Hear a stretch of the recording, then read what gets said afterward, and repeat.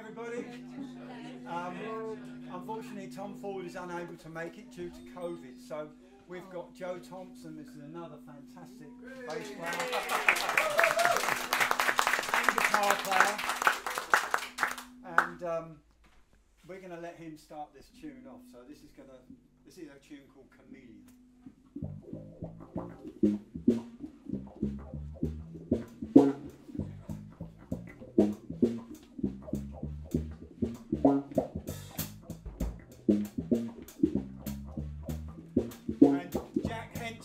Henson